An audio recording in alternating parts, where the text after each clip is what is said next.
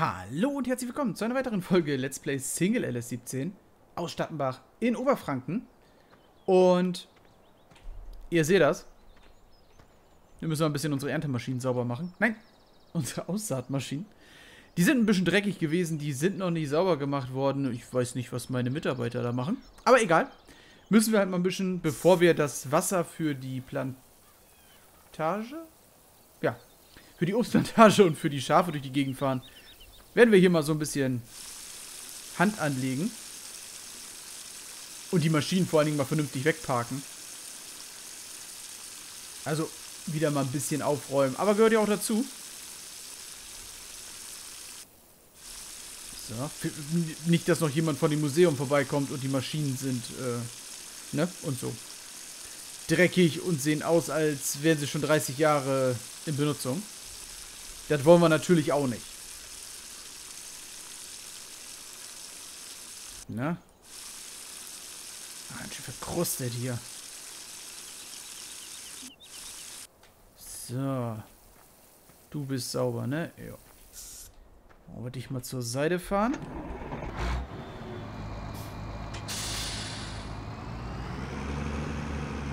Ich weiß gar nicht, wo gehört die Saatmaschine eigentlich hin? Habe ich dafür einen Platz? ja, ist aber gut, ohne, ohne Plan loszufahren. Normalerweise stand die Saatmaschine hier unten. Aber ich glaube...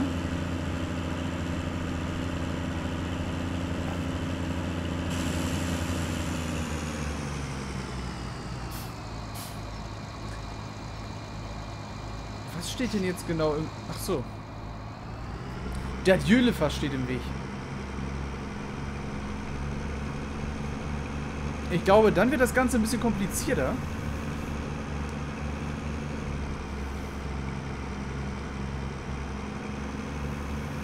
Wollen noch mal gucken, dass wir die Saatmaschine rückwärts ums Eck bekommen.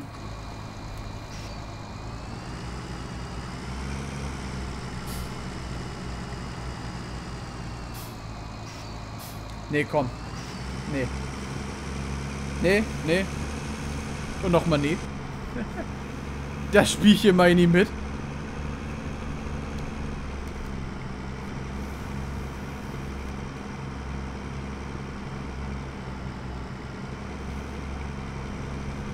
Kartoffellegemaschine brauchen wir dieses Jahr eh nicht wieder.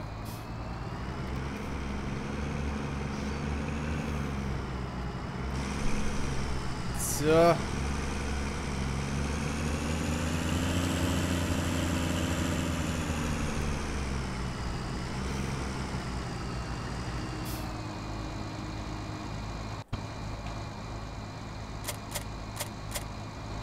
Passt.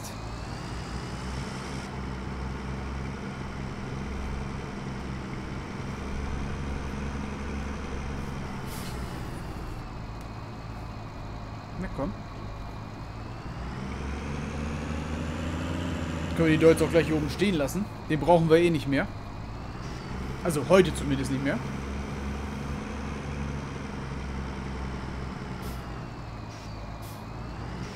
Kommen wir da zufällig?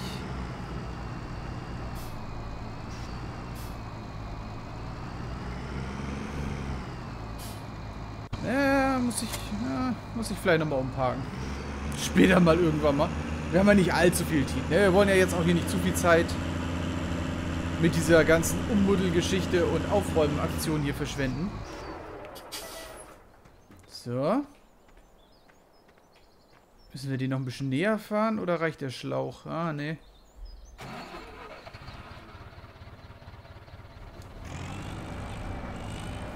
Ein bisschen ums Eck.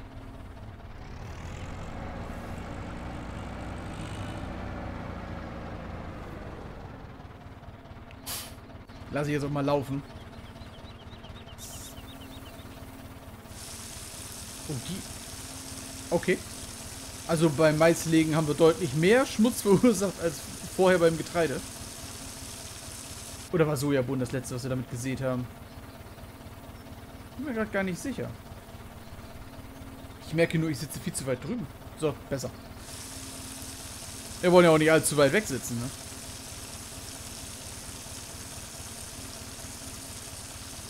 So. Aber ich muss ganz ehrlich sagen, stimmt, ich wollte noch auf eine Sache eingehen. Ich habe ja vorgestern in dem Video gefragt gehabt bezüglich der Facecam und dem Regal, beziehungsweise dem Greenscreen. Ich bin eurer Meinung. Also A, gefällt mir das mit dem Regal deutlich besser. B, man sieht es da hinten, man kann deutlich schönere Sachen reinstellen. Einfach mal auch vielleicht mal in, in, in die Zukunft gedacht, um euch irgendwas zu zeigen. Ne, also jetzt nicht irgendwie hier von wegen, ich habe mir eine vergoldete Rolex gekauft, die steht da hinten im Regal. Quatsch. Sowas meine ich nicht. Aber wenn man zum Beispiel mal irgendwie irgendwo ist und man findet irgendwas, dann kann man das da gerne mal reinstellen. Oder man bekommt vielleicht mal irgendwas geschenkt. Man weiß es nicht. Alles im Bereich des Möglichen. Außerdem ist man, was das angeht, viel flexibler. Also ich werde den Greenscreen zu 95% abbestellen. Werde das wahrscheinlich... Vielleicht, vielleicht habe ich es sogar schon getan, wenn das Video rauskommt. Man, man weiß es nicht, ne? Also alles möglich. Aber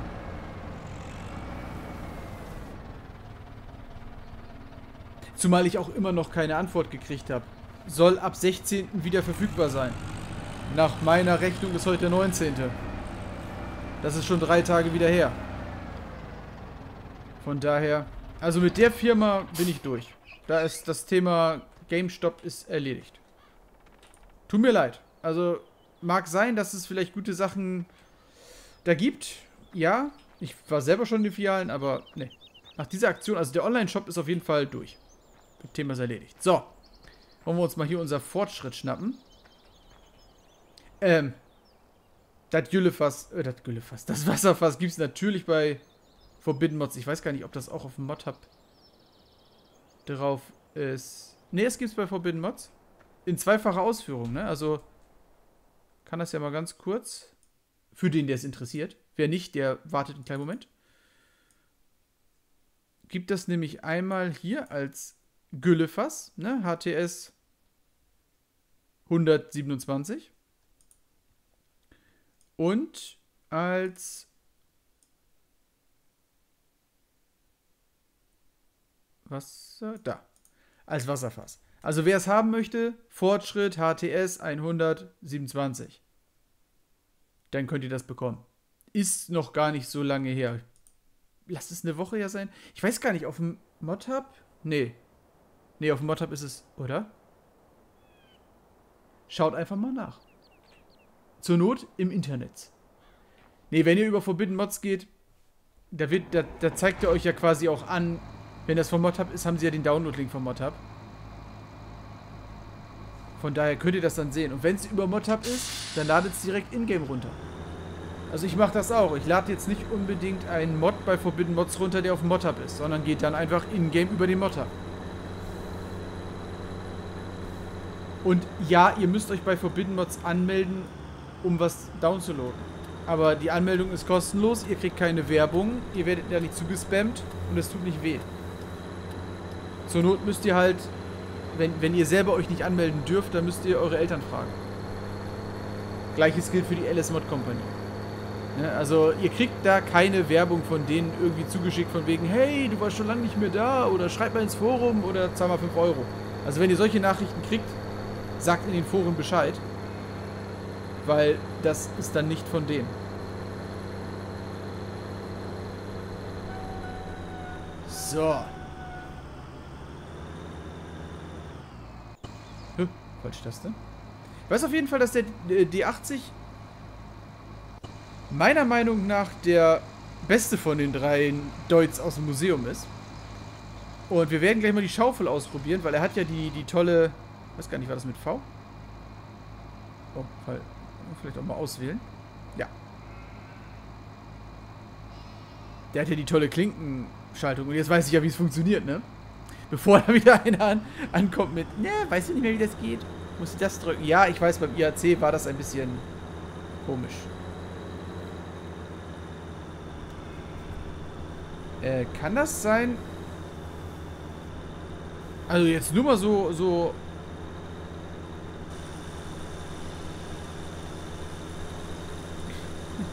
Hat der Deutz ein bisschen Hinterradprobleme mit dem Wassertank? Ja gut.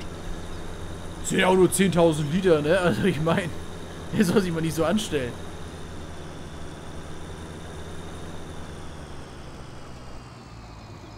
Hätte ich noch einen Fortschritt besorgen müssen. Nee. Nein, nein, bevor ihr jetzt reinschreibt, Fortschritt, nein. Ihr wisst meine Aussage dazu. Es wird in dem Projekt hier keine, nicht große, nee, nicht groß ist falsch, äh, nicht viel Ostprodukte geben. Ja, das ist ein Fortschritt. Ja, möglicherweise wird es noch die ein oder andere Fortschrittmaschine geben. Ja. Aber es wird jetzt nicht einen Traktor geben und es wird auch kein Ostalgie-Projekt.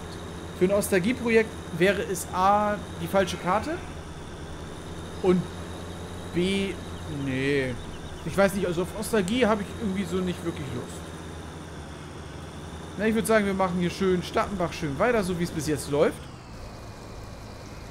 Ich würde auch jetzt nicht unbedingt beigehen und das ganze Projekt hier ändern wollen. Also, also bevor ihr jetzt auf die Idee kommt, dass hier irgendwann mal größere Maschinen kommen.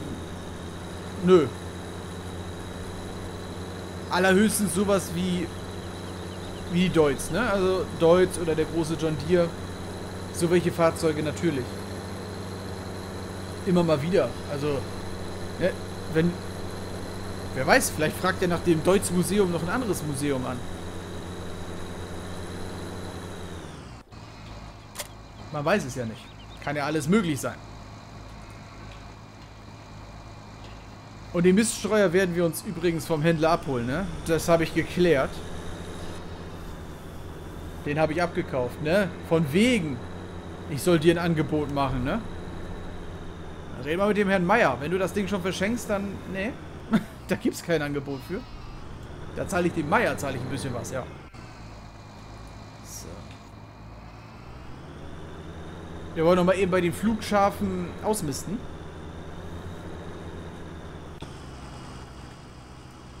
Und, ähm, eine Frage in den Kommentaren, ob ich mit Lenkrad spiele.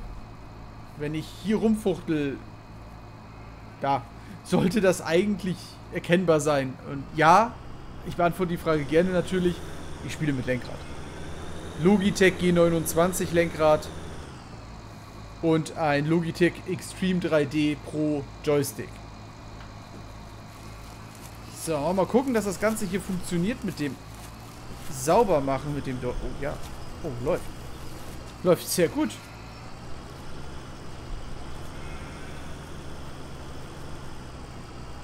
Das läuft erschreckend gut. Oh. Vorsicht, Wilhelmine. Ja, nimm mal den Hufen weg da. Wilhelmine. Also ich... Normalerweise würde ich ihr jetzt einen Klaps auf den Hintern geben. Wilhelmine ist da so ein bisschen eigensinnig, aber wenn ich ihr jetzt hier einen Klaps gebe, dann weiß ich, dass sie da hinten landet. Und das wollen wir nicht. Und nein, ich zeige euch das auch nicht. Wilhelmine. Ja, du bist gemeint, genau. Nur mal, nur mal kurz. So ein Stückel. Ja? Ja, kann man mal machen.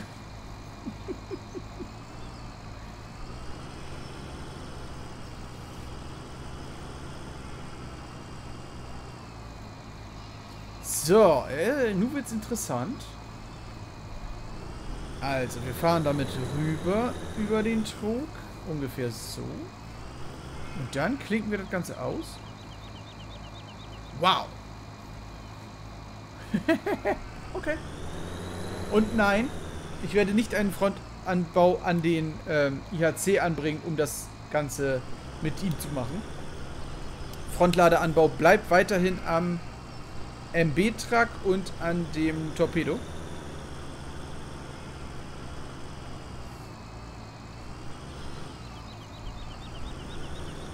So. Aber wir haben da vorne, da ist doch noch so ein...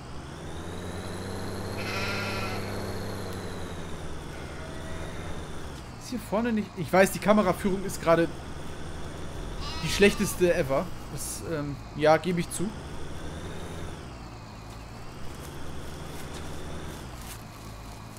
Aber nützt ja nichts. Da müssen wir jetzt gerade mal durch. Weil hier im Stall ist es doch ein bisschen, meiner Meinung nach, ein bisschen, bisschen enger. Ja, jetzt hast du die... Hast du, hast du gut gemacht, Traktor. Hast du sehr gut gemacht. Ja, nun komm.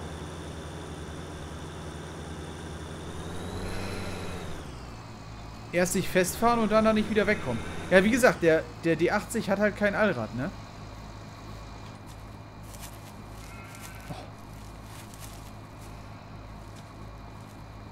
Ja, los, Else.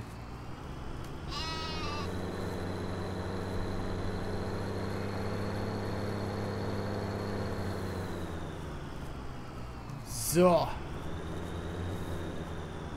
Nu geidert weiter.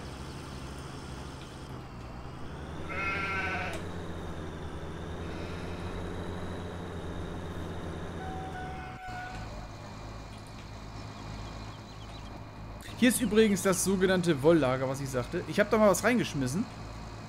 Und vielleicht ist mir dabei aufgefallen, dass ich das Lager ein Stückchen zu weit nach hinten gesetzt habe. Ist, ähm, blöd. Aber gut, sei es drum. Ihr könnt nämlich jetzt, wenn ihr jetzt hier hingeht, dann könnt ihr R drücken.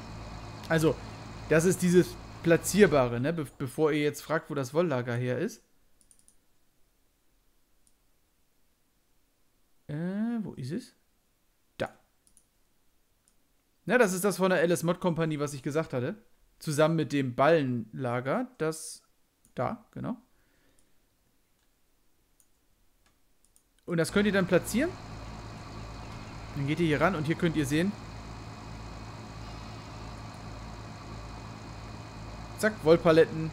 Eine Palette ist drin. 2000 Liter sind drauf, also eine volle Palette. 110 Paletten passen insgesamt rein und man kann sechs Stück zur Aufladung rausstellen. Können wir, glaube ich, hier einfach sagen, genau eine. Und dann okay, dann würde er sie rausstellen. Wollen wir natürlich nicht. Wir lassen sie drin. Und er packt die ab. Also er packt hier die losen diese dort rein und die Körbel packt er hier drüben hin und füllt das dann wieder auf, wenn ihr es rausholt. Somit ist es wie bei den Ballen, ihr habt keine Objekte mehr auf der Map dann, ne? Also sie sind dann quasi weggelagert, sie zählen nicht als eigenständiges Objekt, ziehen dementsprechend auch nicht so an der Performance, was für leistungsschwächere Rechner, ne, der eine oder andere von euch hat ja noch einen etwas leistungsschwächeren Rechner, was dann natürlich deutlich für Performance-Sicherheit sorgt. Oder für Performance-Stabilität. Das gleiche könnt ihr dann natürlich, ich habe das Tablet von Emma, äh, von Emma, von Emily jetzt nicht dabei, aber über das Tablet könnt ihr dann auch, da gibt es eine App für, auch bei der LS Mod Company und auch auf dem Mod Hub. Und darüber könnt ihr die, auch genau das, was ich da jetzt gerade gemacht habe, die Menge an Paletten, die drin sind, oder die Menge an Ballen, die könnt ihr darüber sehen. Von daher einfach mal nachschauen. So, ich werde jetzt aber trotzdem den Anhänger noch einmal voll machen. Und dann äh, höchstwahrscheinlich für mich selber die Apfelbäume versorgen, weil das Thema hatten wir schon. Das hat sich wieder alles länger hingezogen. Das ist wieder so ein Hashtag typisch Tobi. Ding. Aber gut, sei es drum. Passt schon. Liebe Lüd, das soll es für heute gewesen sein. Ich sage vielen lieben Dank fürs Zuschauen. Hoffe, das Video hat ein bisschen Spaß gemacht. Würde mich freuen, wenn ihr ein Abo, Daumen hoch und Kommentar da lasst. Schaut sehr gerne beim nächsten Mal wieder rein. Und dann wünsche ich euch einen schönen Abend, eine schöne Nacht, einen schönen Morgen, je nachdem, wann ihr euch das Video anschaut und sagt, bis zum nächsten Mal.